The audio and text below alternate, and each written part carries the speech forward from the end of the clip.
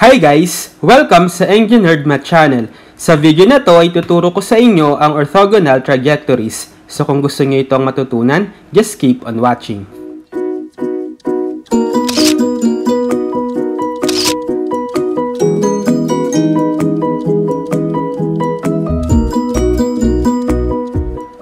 Okay, so this time ay tuturo ko naman sa inyo ang another application ng differential equations which is itong orthogonal trajectories. So, meron na akong naunang video about other applications ng DE like, like Newton's law of cooling, simple chemical conversion, as well as applications in circuits. So, kung hindi nyo pa napapanood, isisilink ko na lang para ma-check nyo. So, ngayon is magpo-focus tayo sa orthogonal trajectories. So, ano ba ang orthogonal trajectories? So, let's define it. So, sabi, given two family of curves, f of x, y, c equals 0, and g of x, y, k equals 0, if at any intersection of the two curves, the tangent lines are perpendicular, then the curves are said to be orthogonal trajectories of each other. Okay, so kung meron daw tayong given two family of curves with equations, f of x, y, z equals 0, and g of x, y, k equals 0, then kung yung tangent lines daw dun sa bawat intersection ng dalawang family of curves na yon is perpendicular, then the two family of curves are said to be orthogonal trajectories of each other. Okay, so as an illustration, meron ako ditong dalawang family of curves. In particular, itong family of parabola, tsaka family of ellipse. So, kung mapapansin nyo, ito yung intersection nila, right? Meron silang iba't ibang intersection. So, applying the concept of orthogonal trajectories, kung kukuhain natin yung tangent line at specific intersection, let's say at this point, so pag dinraw natin yung tangent line, so dito sa ellipse, at dito rin sa parabola, So, dapat perpendicular sila. Lagi. Okay, so yun yung concept natin ng orthogonal trajectories. Now, dumako naman tayo kung paano mag-solve ng equations ng orthogonal trajectories. So, given a differential equation, mdx plus ndy equals 0, so ito yung form natin ng dE, right? Wherein meron tayong differential dx at dy at merong nakamultiply sa kanila na function of x at y na m at n respectively. So, kung kukuhain natin dito yung dy over dx, so we have mdx is equal to, transpose ko dito si ndy, negative ndy. So, pwede kong i-cross multiply si n, cross multiply si dx. So, magiging m over n is equal to dy over dx, negative. O itong negative, multiplying both sides, we have negative m over n is equal to positive dy over dx. So, diba itong dy over dx or parang y prime, siya yung nagsisilbing slope ng tangent line. So, therefore, applying the concept ng orthogonal trajectories, they're perpendicular yung tangent lines nila at any intersection, dapat yung magiging slope ng orthogonal trajectories dito sa given differential equation na to is negative reciprocal nitong dy over dx na negative m over n, which is n over m positive. So, therefore, ito yung dapat yung magiging slope nung ating orthogonal trajectories. dy over dx is equal to n over m. Or solving it, in terms of this form, we have cross multiply ko ulit. So, n dx equals m dy. Or, transpose ko sa kabila si n dx, magiging m dy minus n dx equals 0. So, ito yung pwede natin i-apply na formula or equation para mahanap natin yung orthogonal trajectories of a given differential equation. Let's say, mdx plus ndy equals 0. So, ito siya, mdy minus ndx equals 0. Okay? So, para ma-illustrate natin yung concepts at formula for orthogonal trajectories, ay mag-solve tayo ng examples. So, find the orthogonal trajectories of the given family of curves. For the first one, we have x minus 4y equals c. Okay, so lagi ang ibibigay sa atin dito is an equation of the curves, which is a family of curves kasi meron tayong constant, right? Ang pinakauna natin gagawin is hanapin natin yung differential equation nitong family of curves na given. So, parang application siya ng elimination of arbitrary constants. Okay? So, sige, gawin natin. So, kailangan ma-eliminate natin yung C. So, dahil isa lang naman yung constant natin, once lang tayo mag-derivative. Base dun sa video ko about elimination of arbitrary constants, right? So, pwede natin gawin is, i-differentiate na lang natin to explicitly in terms of x. So, derivative ng x is 1 minus, derivative ng 4y is 4 times derivative ng y is 1 times dapat meron tayong dy over dx. Kasi implicit differentiation tayo. So, lahat ng mga variable y na di-differentiate natin, lagi natin lalagyan ng dy over dx. Okay? Equal to, so, derivative ng constant is 0. Okay, so now, meron na tayong dE, right? Ang next goal natin is isolve natin ngayon itong dy over dx. So, pwede natin gawin is i-transpose ko itong negative 4 dy over dx sa kabila. So, 1 is equal to 4 dy over dx. Then, divide both sides by 4. So, we have 1 fourth is equal to dy over dx. Now, yung kanina, kailangan nating mahanap yung negative reciprocal nito, right? Para siya yung maging slope ng ating differential equation for orthogonal trajectories.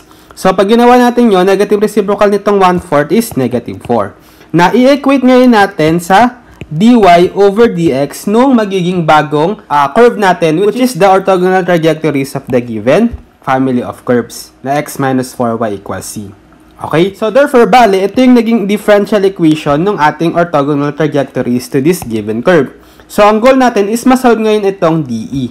Okay? So, mapapansin nyo, parang doble yung process na gagawin natin. Una, through elimination of arbitrary constant, i-derive natin yung differential equation muna nung ating given family of curves. And then, isa-solve natin doon sa derived equation, yung dy over dx, para mahanap natin yung slope. And then, negative reciprocal nun, i-equate natin sa dy over dx para mahanap natin yung dE ng orthogonal trajectories. Okay? So, kailangan nating masolve yung equation nitong orthogonal trajectories para magawa yon solve natin itong dE. So, obviously, separable dE lang naman siya. So, cross-multiply ko si dx, we have negative 4dx is equal to dy. Then, integrate both sides, we have negative 4x equals, integral ng dy is y, then plus c. Okay? Or other form of this can be 4x transpose then plus y equals transpose ko dito si constant negative c. Or if we let c1 be equal to negative c, observe yung negative, we have 4x plus y is equal to c1. So therefore, itong 4x plus y equals c1 is the family of curves that is the orthogonal trajectory of this given family of curves x minus 4y equals c. Okay? Next, we have straight lines with slope and y-intercepts equal. Okay, so this time, words yung given, which is the description of the given family of curves. So, pwede rin yung ganong problem. Okay? So, para masolve natin to, i-transform muna natin to into equation. So, sabi, straight lines with slope and y-intercepts equal. So, gamitin natin yung slope-intercept form ng line. So, di ba, we have y is equal to mx plus b. Tapos, apply natin yung condition na dapat daw yung slope na m is equal doon sa y-intercept na b. Right? So, pwede natin i-substitute dito sa b is m. So, para maging y is equal to mx plus m. Right? So, meron lang tayong isang unknown variable which is m na constant. So, pwede natin siyang i-eliminate.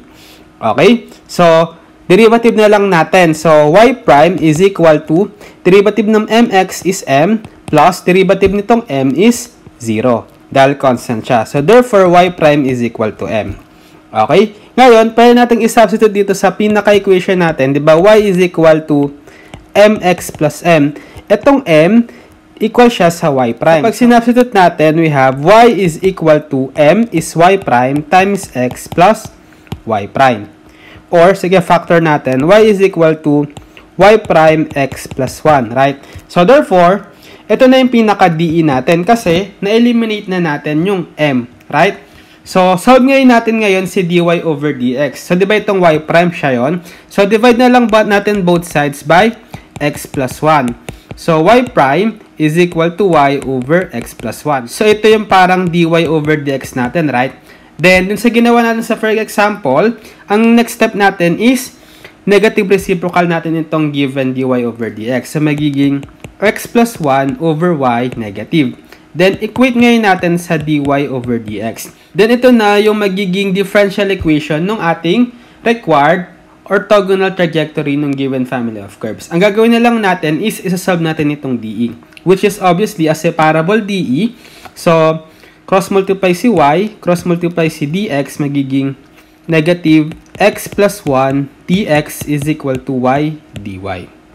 Okay, so integrating both sides, we have, so integral ng negative x plus 1 dx. So if we let u be equal to x plus 1, du is equal to dx. So therefore, integral of negative x plus 1 is u, then dx is du. So integral niya is negative u squared over 2, power formula. Then substituting itong x plus 1 sa u, magiging negative x plus 1 squared over 2 then equal to itong integral ng y dy is simply y squared over 2 then plus c. Okay? Multiply natin both sides by 2. So we have negative x plus 1 squared cancel si 2 equals distribute cancel din si 2 y squared is equal to distribute 2c. So y squared plus 2c. So transpose ko na lang dito si negative x plus 1 quantity squared tsaka si 2c. So we have x plus 1 quantity squared plus y squared is equal to negative 2c. Or again, itong negative 2c is simply let na lang natin as c1. Or para maging circle siya, right, pwede natin gawin tong let's say um, c1 squared. So, pwede natin i-assign yon. Okay? So, therefore, x plus 1 quantity squared plus y squared is equal to c squared. So, equation pala ng circle, yung pwedeng maging orthogonal trajectories dito sa given family of curves natin na straight lines with slope and y-intercepts equal. Okay? Next, we have y squared times quantity 2x squared plus y squared equals c squared. Okay, so first step is eliminate muna natin yung constant na c squared para makuha natin yung differential equation. So, since isa lang naman yung constant natin, which is nasa right side, naka-isolate, i-implicit differentiation na lang natin once itong given equation para ma-eliminate agad natin siya. Kasi derivative ng constant is just 0, right? So, distribute ko muna itong y squared. So, we have 2x squared y squared plus y to the fourth equals c squared. Then, implicit differentiation both sides. So, dito muna tayo sa 2x squared y squared. So, 2 times, copy ko muna itong x squared. Derivative ni y squared is 2y. Then, dapat may dy over dx. Plus, this time, copy ko naman si 2y squared. Then, differentiate ko itong x squared, which is 2x. Plus, derivative ni y to the fourth is 4y cubed. Then, dapat may dy over dx. Equals, derivative ni c squared, dahil constant lang siya, 0. Okay? So, combine ko yung may mga dy over dx. So, dy over dx, factor ko na. So, ito, 2x squared times 2y is 4x squared y plus itong 4y cubed plus itong 2y squared times 2x is 4xy squared equals 0. So, transpose ko dito si 4xy squared. So, dy over dx times 4x squared plus 4y cubed equals negative 4x y squared. Divide both sides by 4x squared plus 4y cubed. So, cancel dy over dx. Okay? So, factor natin tong denominator. So, magiging 4y times x squared plus y squared. So, pwede natin makancel si 4 tsaka isang y. So, magiging negative xy over x squared plus y squared then dy over dx. Ngayon, di ba, ang next step natin is i-negative reciprocal natin to, right? So, magiging x squared plus y squared over positive xy na.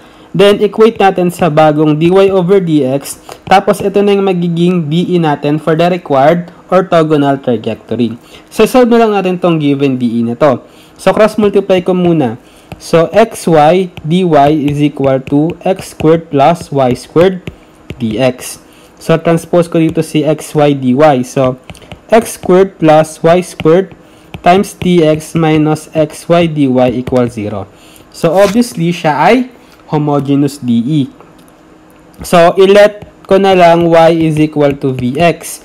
So, dy is equal to vdx plus x dv. Substitute. So, x squared plus y squared is vx squared. Then, dx minus x, y is vx, then dy is vdx plus x dv equals 0. So, x squared plus v squared x squared simplify dx minus x is x squared v times v dx plus x dv equals 0. Factor ko tong x squared. So, 1 plus v squared dx minus x squared v v dx plus x dv equals 0. So, cancel ko tong x squared. Matitira is 1 plus v squared dx minus v. So, distribute ko na negative v squared dx minus vx dv equal 0. So, combine ko tong dx. So, 1 plus v squared minus v squared dx minus vx dv equal 0. So, cancel si v squared. So, dx na lang minus vx dv equal 0. So, separable na. Cross multiply ko na itong x. So, magiging dx over x minus v dv equal 0 integrate both sides. So, integral ng dx over x is ln x minus integral ng v dv is power formula v squared over 2 equal constant. Now, itong v, palitan ko na, gawin ko ng in terms of, di ba, y is equal to vx. So, v is equal to y over x. So, palitan ko na. So, ln x, then y squared over x squared over 2 or 2x squared equals c. Now, multiply ko both sides by 2. So, magiging 2 ln x minus y squared over x squared equals 2c. Itong 2c, gawin ko na lang c1. So, we have 2 ln x minus y squared over x squared equals c1. So, Multiply ko both sides by x squared na nga rin. So, we have 2x squared ln x minus y squared equals x squared c1. So, transpose ko dito si y squared, transpose ko dito si x squared c1. So, 2x squared ln x minus x squared c1 equals y squared. So, therefore, ito na yung pwede nating maging equation ng ating orthogonal trajectory doon sa given curve natin. Okay? Okay, so I think that's it for this video, orthogonal trajectories. So, sana ay may natutunan kayo sa video na to at maraming salamat sa panonood.